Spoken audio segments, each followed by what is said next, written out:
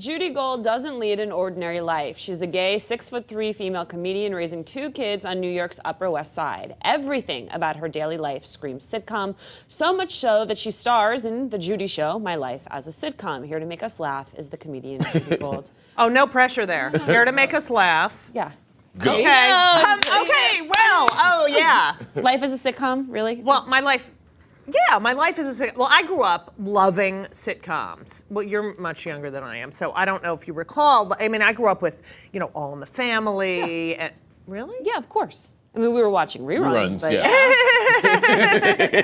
What about Brady Bunch, Partridge Family? yes, of You- course. did you watch these? Yes. show- All right, and they were such an. Oh, Mary Tyler Moore. But anyway, they were such a huge part of my life, and we couldn't. We had no DVR or VCR or anything, and, and we all watched it together. And they would bring up socially relevant issues that really started a dialogue between Americans. I mean, especially the Norman Lear shows, but.